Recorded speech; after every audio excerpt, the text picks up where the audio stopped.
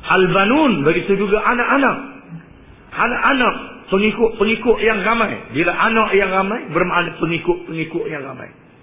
Yang merupakan keluarga yang ramai. Anak beranak yang ramai. Yang menjadi kebanggaan kepada seseorang. Sekiranya kebanggaan itu untuk menegakkan jahiliah. Untuk menegakkan kemungkaran. Di zaman ini untuk pengundi yang ramai. Untuk menyokong perjuangan yang sesat.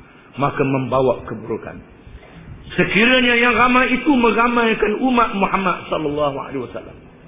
Yang menjadi kebanggaan Nabi di dunia dan di akhirat bagi menegakkan Islam, meramaikan orang Islam, meramaikan petugas-petugas Islam, anak-anak yang soleh yang mendoakan kepadanya setelah dia meninggal dunia, maka itu adalah dunia yang baik.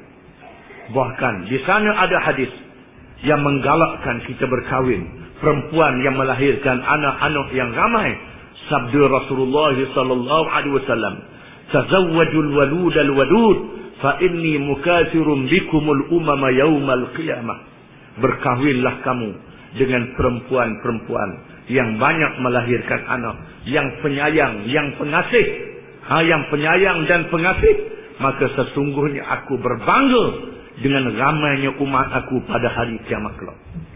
Bermakna bukan ramai anak perhiasan dunia yang menarik yang boleh merosakkan semata-mata di sana ada yang membawa kebaikan di dunia dan membawa kebaikan di akhirat.